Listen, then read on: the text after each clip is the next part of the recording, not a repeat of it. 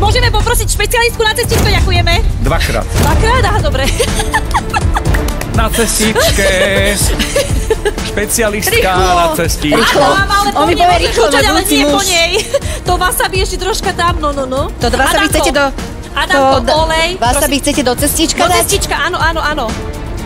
Mne sa veľmi páčil nápad dať wasabi do toho cestička, lebo je to taká nejaká zvláštnosť, nie je také úplne obyčajné. Sodu, no to sa bude potom rozrieďovať. Rozrieďovať to to, cestičko. máš- To sa nedá dať. Ja nie asi veľa. Oh. To? Či? Dobre, dobre, vy No, viete, vy viete. To cestičko bolo brutálne husté a ja by som teraz zvolila úplne opačný postup, že by som tú múku dosypala vlastne neskôr. Veľa, veľa oleja do tej panvici. Olej. veľa, veľa, veľa, veľa, veľa, veľa, veľa. Nachystaj si sem taniere. A on stojí a pozera na ňu.